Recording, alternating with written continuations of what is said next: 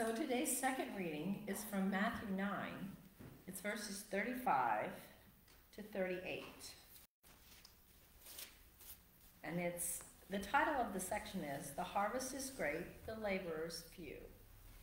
Then Jesus went about all the cities and the villages, teaching in their synagogues and proclaiming the good news of the kingdom, and curing every disease and every sickness. When he saw the crowds, he had compassion for them, because they were harassed and helpless, like sheep without a shepherd.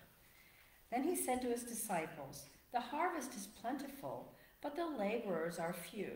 Therefore, ask the Lord of the harvest to send out laborers into his harvest. The word of God for the people of God. Thanks, be to God.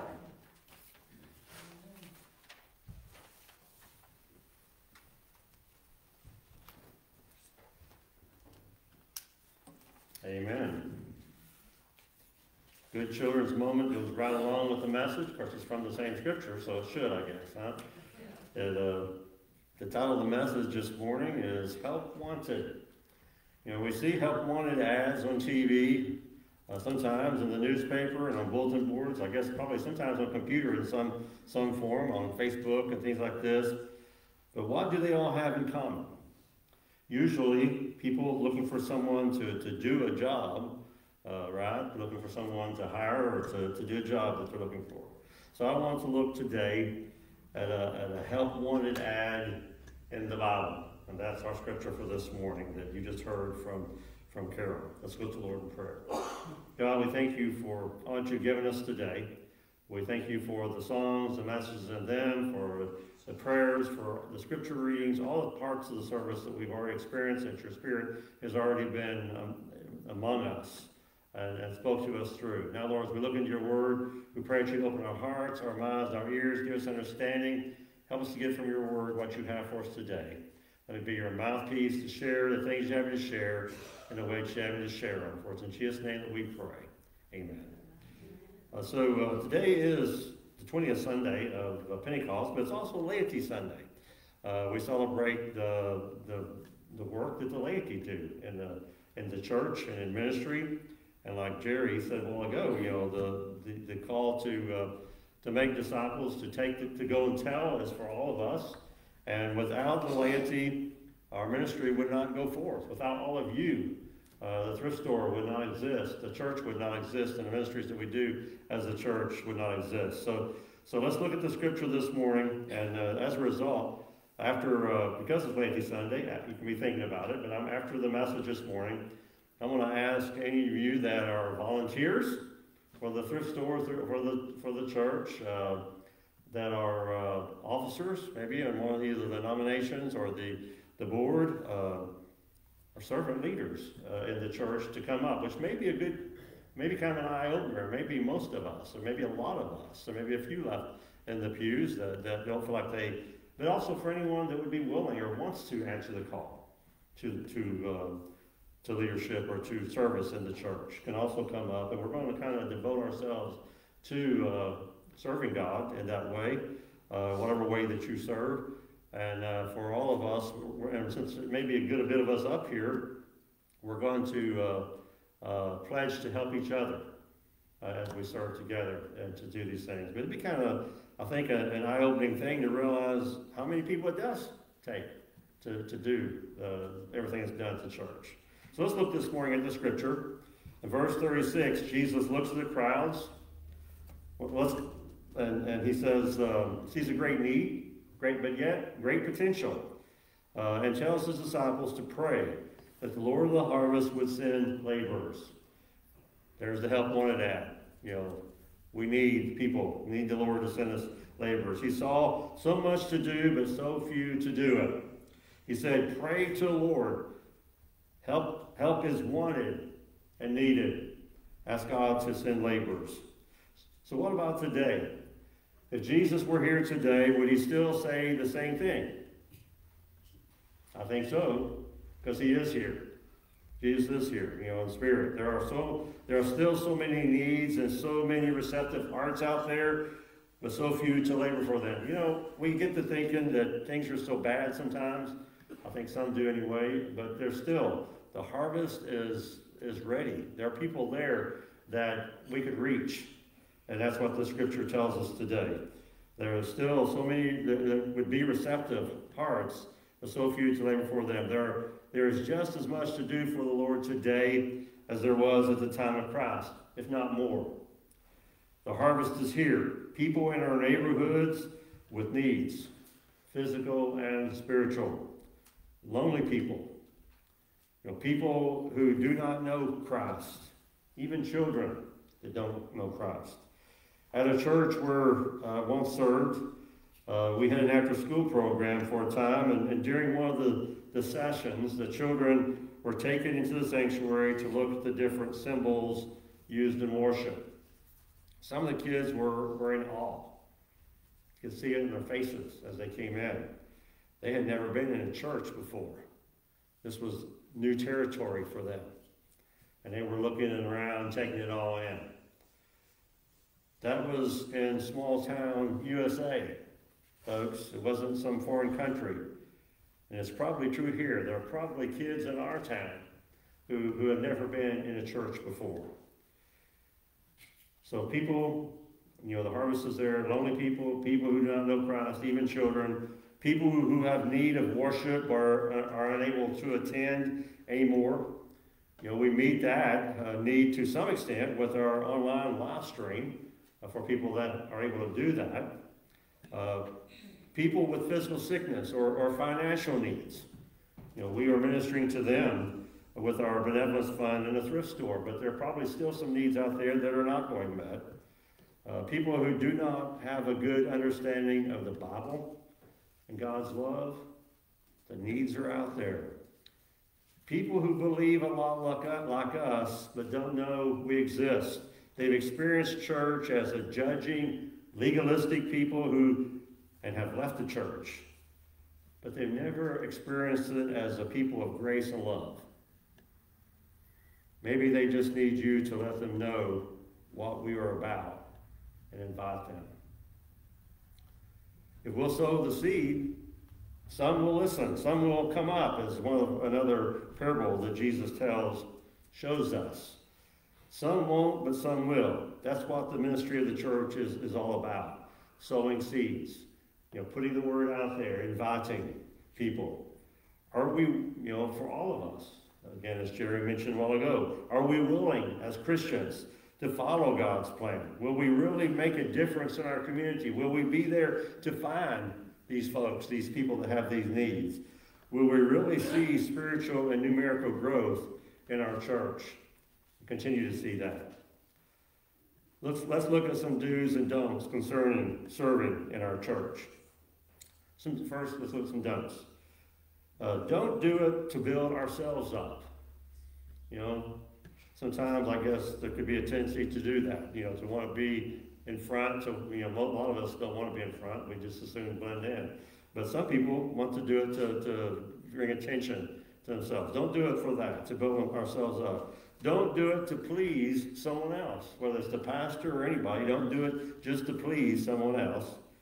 Don't do it to ease your own conscience. And don't just do it just because nobody else will do it.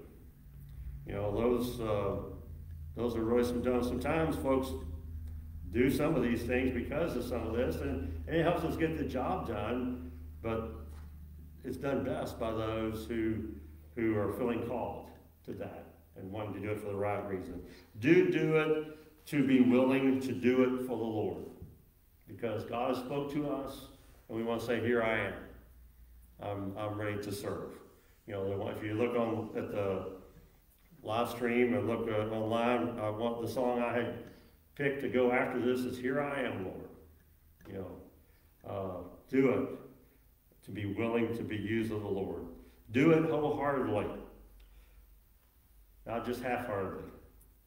And do it because you see the needs of the people and you are moved by a heart of love. As Jesus looked across the crowds and he saw the needs, he was moved with compassion. He said, Pray to the Lord of the harvest to send laborers. You know, we should be like that too. As we look and we see the needs, we are moved by a heart of compassion, moved by a heart of love to service. There are a lot of people out there who need to experience the love of God. They've not been shown that.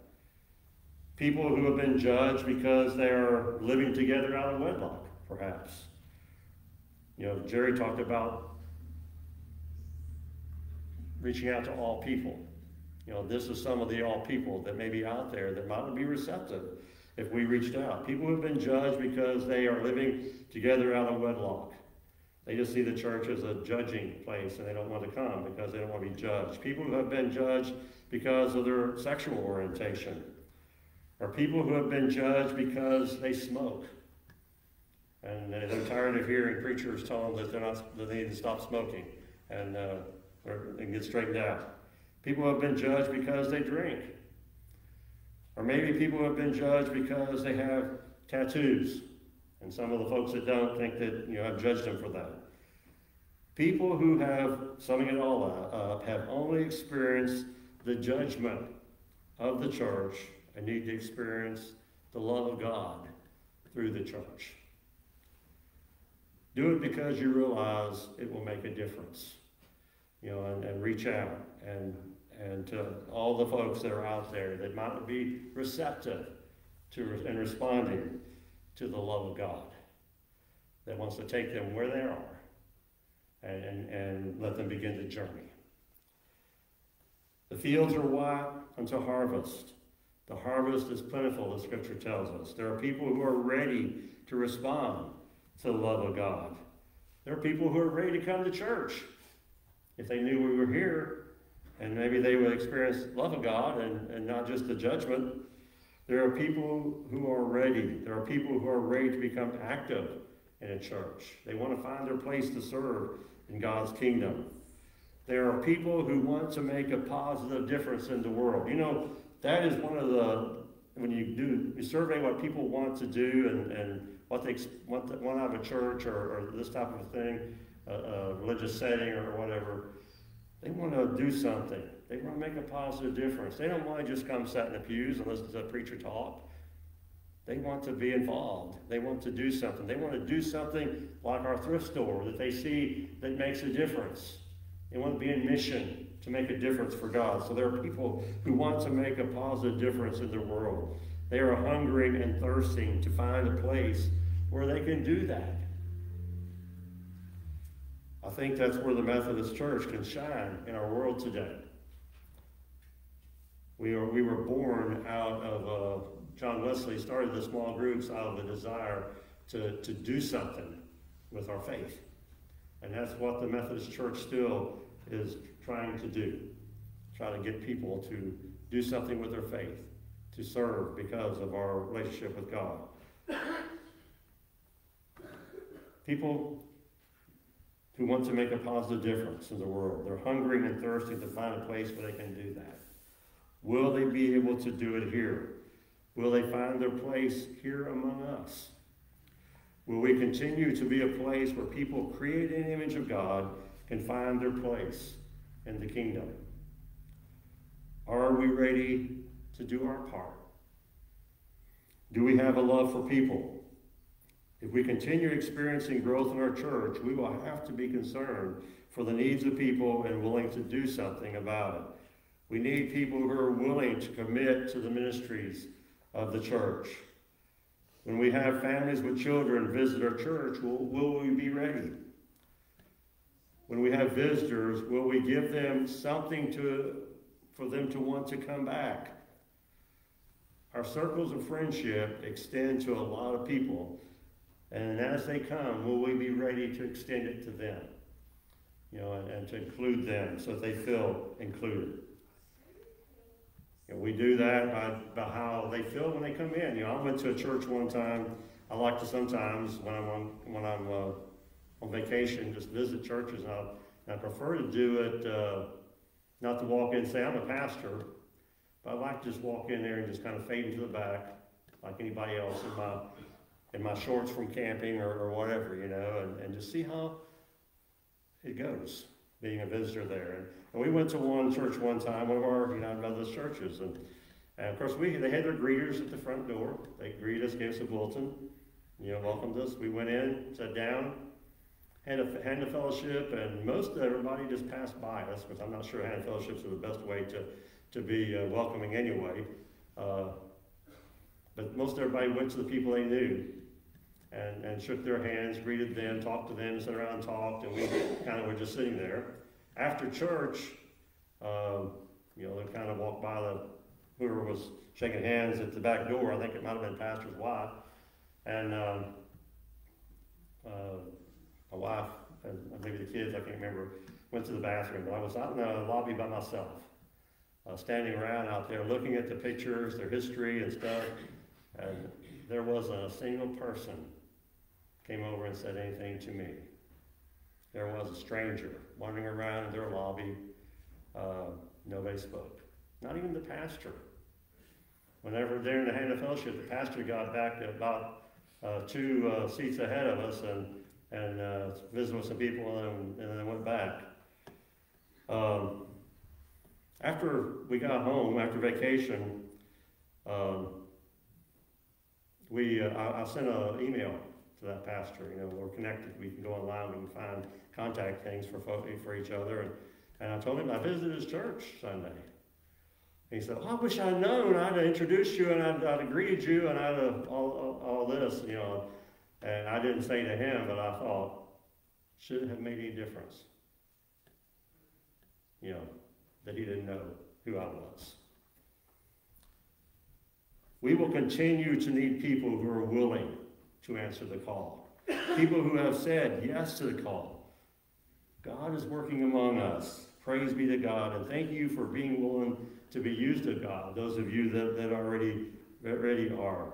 There is a help wanted sign for work in God's kingdom. Do we have what it takes? Let me read that passage to you again, or part of that passage, 37, Matthew 39, 37, and 38. Then he said to his disciples, The harvest is plentiful, but the laborers are few. Therefore ask the Lord of the harvest to send out laborers into his harvest. I'm going to ask those who have said yes to being volunteers, officers, or servant leaders in the church or, or our thrift store ministry, and those, those who want to say yes to service today to come forth and maybe just kind of gather up here and we're going to have a servant dedication where I'm going to, you know, read some questions and you're going to say, I will. And we're going to pray. I want to pray with you. So we want to ask God to, to bless our work. So if you would at this time, if you are involved in some way and you want to dedicate that to God, I invite you to come up this morning. Or if you want to be. If you are not able to come up, you can answer from your seat where you're at.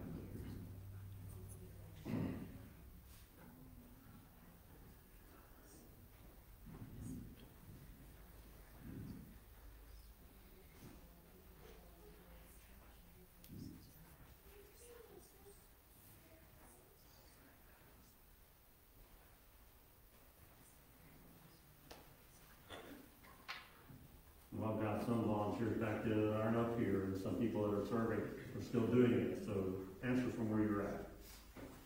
Dear friends, you have been called by God and chosen by the people of God to be volunteers, to be leaders, to be officers in the church and to serve the church. This ministry is a blessing and a serious responsibility. It recognizes your special gifts and, and calls you to work among us and for us. In love, we thank you for accepting your obligation and challenge you to offer your best to the Lord, to his people, and to our ministry in the world. Live a life in Christ to make him known in your witness and your work. Today we recognize these folks and we, we uh, dedicate all these folks to, to God's ministry and the church. Do you, do you this day acknowledge yourself a faithful disciple of Jesus Christ? Will you devote yourself to the service of God in the world? Will you so live that you enable this church to be a people of love and peace? Yes. Will you do all in your power to be responsible to the task for which you have been chosen? Yes. Let's pray. Almighty God, pour out your blessings upon these your servants who have been given particular ministries in our church, in your church. Grant them grace to give themselves wholeheartedly in your service. Keep before them the example of our Lord, who did not think first of himself, but gave himself for us all. Let them share his ministry and consecration, that they may enter into his joy. Guide them in their work, reward their faithfulness with the, the knowledge that through them your purposes are accomplished. To Jesus Christ our Lord. Amen. Amen. Dear friends, for all of us, rejoice that God provides laborers for the vineyards. Will you do all, and you guys can answer for each other as well, not just the folks out there. Will you do all you can to assist and encourage these folks in the responsibilities to which they have been called, giving them your cooperation, your counsel, and your prayers? We will. We will. Amen. God bless you. Thank you all for what you do in the church and in the thrift store. And for any of the rest of you that serve that we're not able to come up for whatever reason. God bless you all. See, it takes all of us to, to, to serve, to make a difference in God's kingdom. Let's pray. God, we thank you for these folks that have come up and came up, and those who, who, answered from their seats, that have answered the call in the service in, in, in your church. We thank you for them and for all of us. Lord, maybe there are some here that did not respond and say yes to your call. So we pray you forgive us for that. And as we encounter you at the table, we pray that uh, at that place, as we encounter you, that commitments can be made, that we can come to you and say, Here I am, Lord, use me. For it's in Jesus' name that we pray. Amen.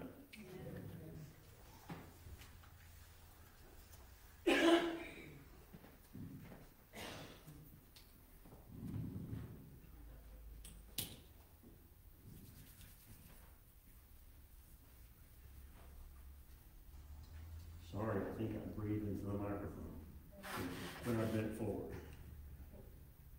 Don't do that. Don't do that. I heard a big uh, wind. I think that was the Holy Spirit.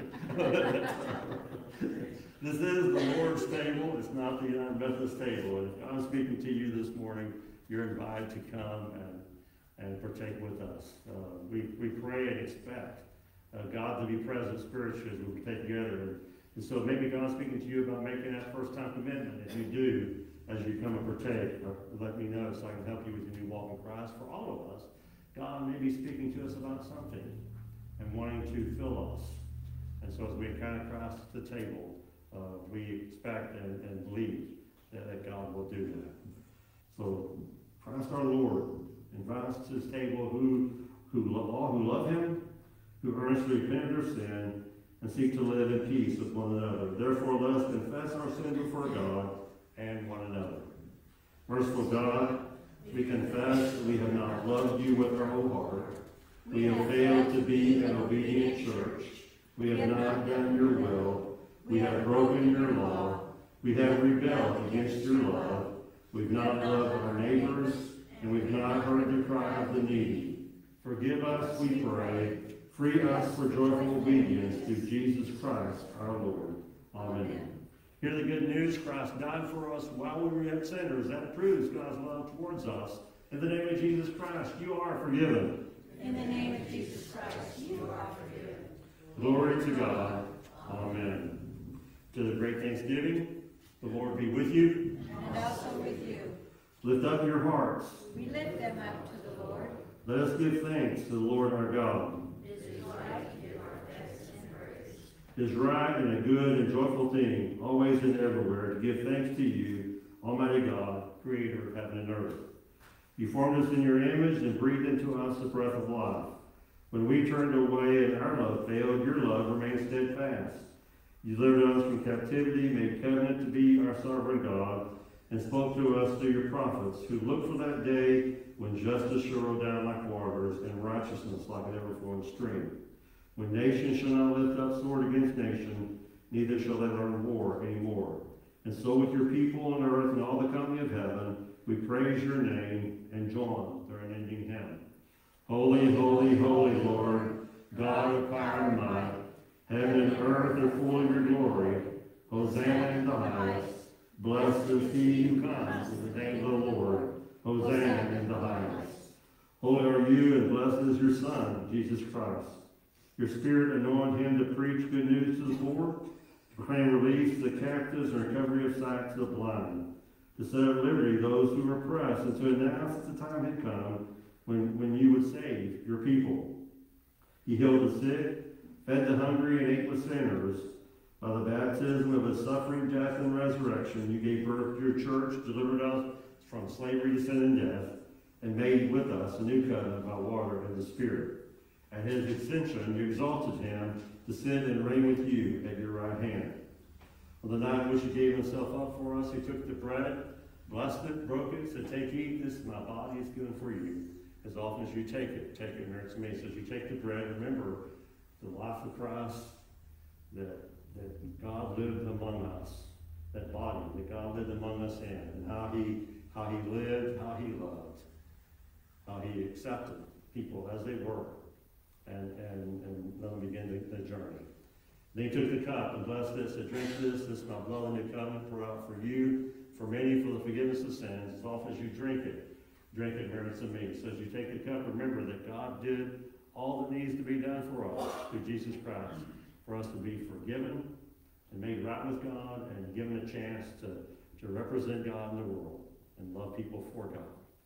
So remember that as you take the cup this morning. And so in remembrance these your mighty acts in Jesus Christ, we offer ourselves in praise and thanksgiving as a holy living sacrifice in union with Christ's offering for us as we proclaim the mystery of faith.